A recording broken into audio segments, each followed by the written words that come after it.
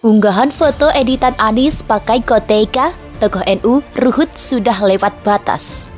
Politikus PDIP Ruhut Sitompul jadi sorotan warganet, pasalnya mantan kader Partai Demokrat itu mengunggah foto Anis Baswedan mengenakan koteka pakaian adat Papua. Unggahan itu Ruhut sengaja menyindir Anis Baswedan yang dianggap sering mengklaim daerah asal. Unggahan itu menuai tanggapan dari beberapa tokoh, mereka mengecam apa yang dilakukan Ruhut. Wailun celaka. Wailun nama neraka. Likulli humazatil lumazah. Celakalah orang yang suka mengejek-ejek. Kenapa tiba-tiba ayat ini yang Ustadz pilih? Saya udah diejek orang berapa hari ini. Itulah ayat yang saya pilih. Daripada saya mencaci maki di internet Bagus saya bawa ke pengajian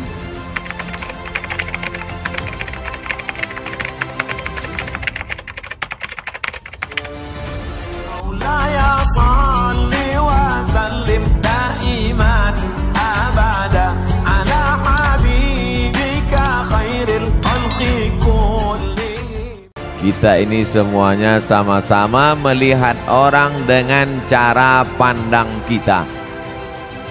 Kita sering kali menengok orang dengan cara pandang kita. Padahal kita disuruh merasakan perasaan orang lain. Betul? La yu'minu ahadukum kamu tak beriman hatta yuhibba li akhi sampai kau sayang kepada saudaramu ma yuhibbu li nafsi sama seperti sayang pada diri sendiri. Apa bukti imannya mantap? Karena dia sudah haji, karena ke Makkah, karena sudah bangun masjid, infak sedekah, betul. Tapi puncak daripada mengukur iman adalah bagaimana merasakan perasaan saudara kita. Susah dia, susah juga kita. Puncak iman adalah ketika tapak kaki orang tertusuk duri, sakit tapak kaki kita. Nah, itu baru sampai pada puncak iman. Puncak iman adalah ketika sakit anak orang ikut kita merasakan seolah-olah itu anak kita. Nah, itu baru sampai pada puncak iman.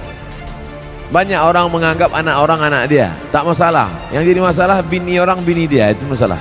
Wailun celaka. Wailun nama neraka.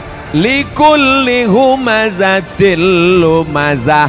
Celakalah orang yang suka mengejek-ejek. Kenapa tiba-tiba ayat ini yang Ustadz pilih? Saya udah diajak orang berapa hari ini? Itulah ayat yang saya pilih. Daripada saya mencaci maki di internet, bagus saya bawa ke pengajian.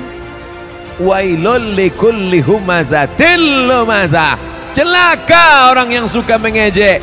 Celaka neraka wail bagi mereka yang suka likulli semuanya tak ada terkecuali humazah lumazah. Apa beda humazah dengan lumazah? Humazah mengejek dengan mulut. Lumazah mengejek dengan perbuatan. Begitu dalam kitab tafsir. Humazah bil lisan. Lumazah bil fi'li. Dengan perbuatan. Jadi kalau ada orang ngejek pakai whatsapp humazah apa lumazah? Instagram Twitter, BBM dipakai lumazah hebatnya Al-Quran dibedakannya antara lisan dengan perbuatan anggota badan. Wailul likulli humazatil lumazah. Celaka dan nerakalah bagi orang yang mengolok mengejek orang lain. Dengan lisan lidah maupun dengan tangan anggota badan. Ada orang mulutnya diam, tapi perbuatannya luar biasa. Ada orang tak buat apa-apa, tapi lidahnya luar biasa. Ada orang mulutnya diam, tangannya tak berbuat, no action. Hatinya saja, yang hati dimaafkan Allah selama tidak diperturutkan la yukallifullahu nafsan illa Kenapa orang mengejek? Karena tidak klarifikasi. Kenapa orang mengejek? Karena tidak tabayun. In ja'akum fasiqum binaba'in. Kalau datang orang membawa berita, fatabayyanu klarifikasi. Alhamdulillah masalah ini sudah saya kliri, klarifikasi. Bapak Ibu sudah tengok klarifikasinya? Belilah paket. Inilah diupdate lah. HP-HP yang macet-macet tuh dilem aja. Campakkan ke sungai. Saudaraku yang dimuliakan Allah Subhanahu wa taala. Kira-kira penjelasan saya itu sudah jelas? Jelas insya Allah. Siapa yang tak jelas betungkik telinganya. Nanti yang mengupload nih di internet, kalian buatlah terjemah di situ. Tungki adalah telinga benanah. Banyak orang yang tak paham itu. Wailul likulli humazatil lumazah. Lalu siapa lagi yang celaka? Kita lanjutkan. Allazi jama'a malau wa'addadah saya sebetulnya mau nunjukkan aja kira-kira masih jauh dari kori internasional tapi sikit-sikit jadilah kan apalagi perbuatan orang ini? Lidahnya mengejek tangannya mengejek perbuatannya mencela. Ada lagi perbuatan yang paling mengerikan.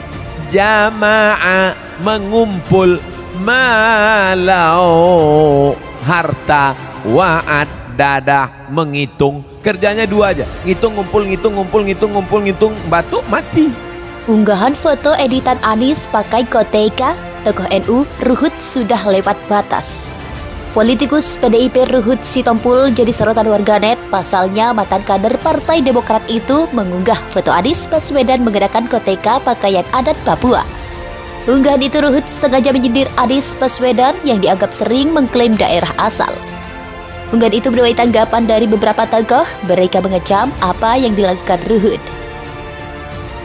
Tokoh NU Nahdlatul Ulama Umar Sadat Hasibuan atau Gus Umar menilai Ruhut sudah lewat batas menghina Anies. Dia menilai kebencian Ruhut ke Anies hingga membuat dia brutal menghina fisik Anies Baswedan. Sementara itu tokoh Papua Datalius Pigai mengatakan perlu cari tahu motif apa sehingga Ruhut mengunggah foto editan tersebut. Saya kira perlu tanya apa maksud postingannya. Ya, penjelasan Ruhut, khususnya pakaian Papua, Natalius Pigai kepada wartawan. Tokoh asal Papua itu pun mempertanyakan kebenaran foto itu. Ia menyebut apabila itu foto hasil editan maka termasuk penghinaan. Di kesempatan lain, pakar multimedia telepatika Roy Suryo mengatakan foto tersebut merupakan foto editan. Kata dia foto itu telah tersebar lama sejak 2017 silam. Roy mengatakan foto itu pernah disebar oleh salah satu akun Twitter pada 2017 lalu. Unggahan foto editan Anis pakai koteka, tokoh NU Ruhut sudah lewat batas.